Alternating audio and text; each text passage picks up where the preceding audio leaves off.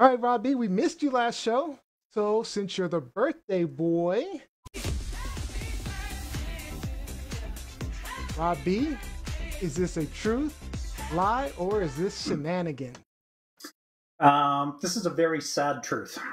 Very sad truth on, well, maybe an industry that might be considered shenanigans. Um, Denmark is reporting that they are going to be culling the entire uh, commercial mink population in their country, 17 million animals amid um, coronavirus fears. Now, minks and humans do share a little bit of a history as far as trading viruses go. It is something that happens uh, between our two species. Um, but now this what's happened with the covid-19 there's now a mutation called sars-cov-2 and they're referring it to cluster 5 they're referring to it as a cluster 5 it's just the, the new name that they've given it now why this particular variant is so important to keep an eye on and why the call has been ordered is because the new covid strain that's been passed back on to humans is showing that it is it has inhibitors to a lot of the COVID fighting antibodies that we're currently using to develop vaccines. That is terrifying in and of itself. You're saying it's resistant the, to our current therapy. It's not resistant. It has, it is building up some resistance to it, which really impedes the effectiveness of the current vaccine lots that they are working on internationally. So, I guess my question for the panel is, you know, mink fur clothing, mink oil, false eyelashes. Are these two are these products that you could sacrifice for the benefit of both human and mink populations? Lizzie, did you want to start? I was gonna say, who are you asking first? Um, I still have not purchased a mink yet. Um, that is one oh, of the luxury items. Oh yeah. Okay. Oh yeah, 100%. mink, chinchilla, the whole nine. Um, but as it relates to this story, I, I had to do some research um, because I one I didn't even know that there were 17 million mink in Denmark. Um, I've been to Denmark before. It's a very small country. Um, it is in Europe in Scandinavia. It is to the north of Germany and it is below um, Norway and Sweden. And only a population of 5.7 million people. It's a little less than twice the size of Massachusetts, just to give you a little background. So it's a very small country. So to think that there are 17 million mink in this small country. is like, whoa, that's a lot. Um, but I wasn't sure what this was about originally. And then when they started to talk about the connection between um, some mink, not all 17 million are infected with COVID 19. It's some mink, they don't know the exact number, but to, um, you know, head off any type of mass um, infestation, if you will, with um, the Denmark population, they're deciding to get rid of all the mink. And I'm not quite sure if I'm there yet on that. I think that is um, an extreme, especially since you really don't know how many mink in the country are infected, what the general area is, like where are these mink? That are infected. And how did they because there were some so for what i read there was an animal infected first and then it got to humans and then it got to mink and then it got to human like it kept going back and forth. Right. um mm-hmm. and so is there not a way to contain this? Is you know instead of like killing all of them? And what do you do with all 17 million mink bodies that you have destroyed? Probably where do they go Previously to the ma- to this mass call that was announced um, in the weeks leading up, there had been, already been a culling of some 500,000 minks in Denmark, and it's been reported that they're just mass graves in the countryside. Uh, typically, oh. with a with a healthy mink, then there's other products that you can get from it. Um, just rendering the oil uh, or rendering the fat for mink oil, for example, um, and what happens to a lot of the carcasses is they just kind of get ground down and their organic nitrate rich bodies get added to the fur and the feces and it's used as fertilizer. So there isn't a part of the animal that's wasted. But at the end of the day, this is an animal population that's being raised and maintained for the primary purpose of clothing or the fur. So, Neo, So I'll say I, I was shocked. I was one. I was shocked by the number. Um, 17 million? yeah, I, I mean, I was shocked that we even that we even need 17 million minks. But I guess there are a lot of people like Lizzie who like mink. But I mean, my it gets, cold, it gets cold in Scandinavia. Let, let, let's, you know, we need to true acknowledge though. that. I mean, it- cold you in know, it, it is it is partially survival up there, partially. I mean, but there are there are other other things we can use nowadays. Um, but I was started wondering. The first thought that came to me is I started wondering: Is this nature trying to get back at us uh, for all our atrocities, like, for example, furs and and and the things that we do in America? I mean, you think about the current pandemic started in like Wuhan, China, in some wet market down there, right? And you know what they do with animals down there, and then you talk about these minks and you know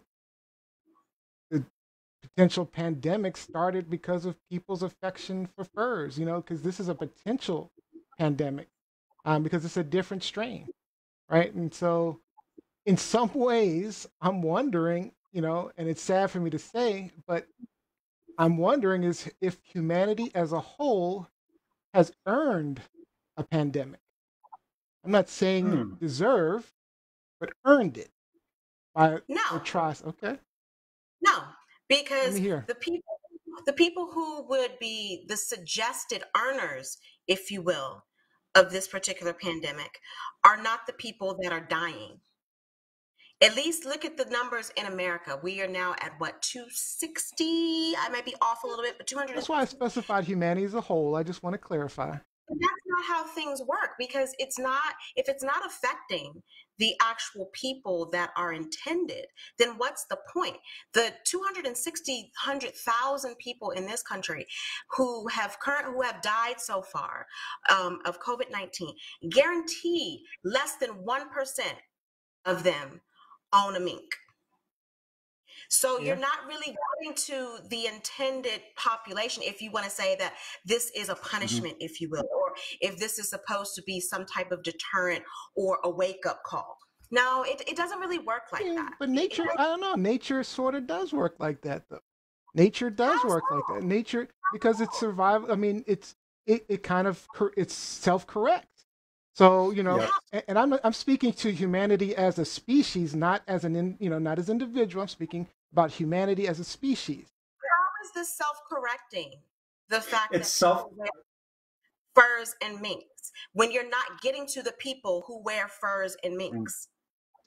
But this is self-correcting, Liz, in that we there are too many humans on the planet. That's well documented. We consume too many resources. As a result, we engage in very unhealthy practices for the planet.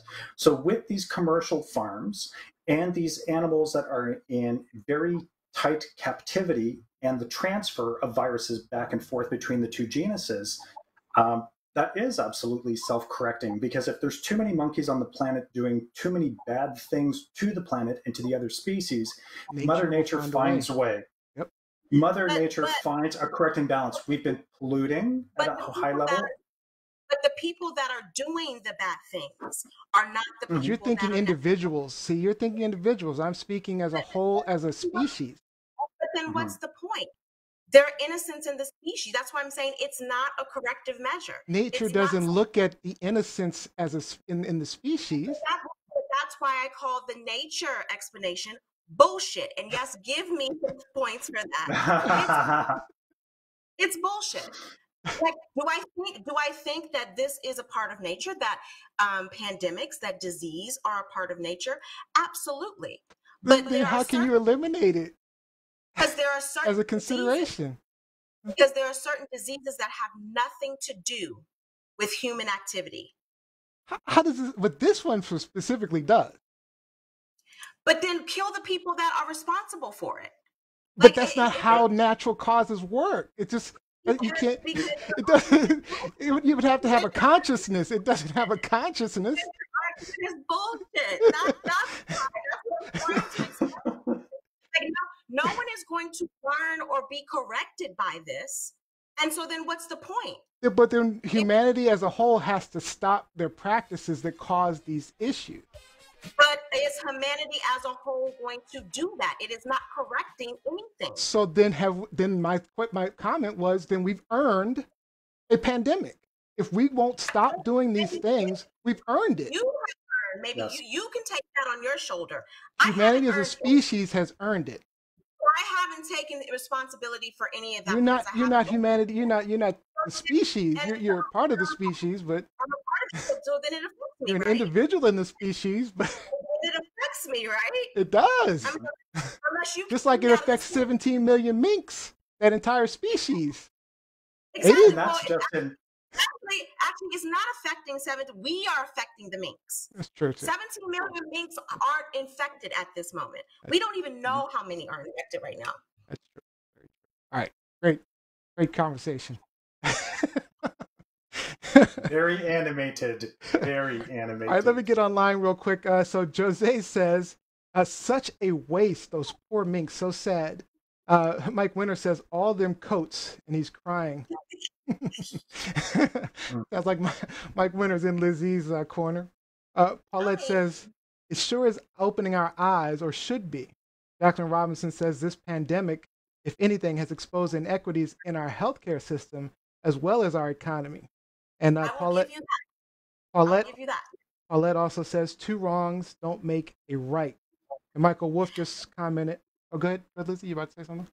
I was just going to ask though, in terms of exposing, like how much is it really exposed? Just specifically to this issue, and I think Rob B is frozen, I but so specifically to this issue because Let me double if not, if not for this topic from Rob B, I never would have heard of this. That's true. I never like this is some information that Rob B is, you know, schooling me on as it relates to one, the size of the mink population in um, Denmark, two, about the how easily it's transferred between this species of mink versus humans, and three, how they are responding. I had never heard this story, this topic before Mhm. Rob B brought it to the table. and I the want to mink point out industry has Mike been Wolf's. Oh, good, Robbie. the mink industry has been under attack for several years because of issues like this, because of the transfers of pathogens between our two species.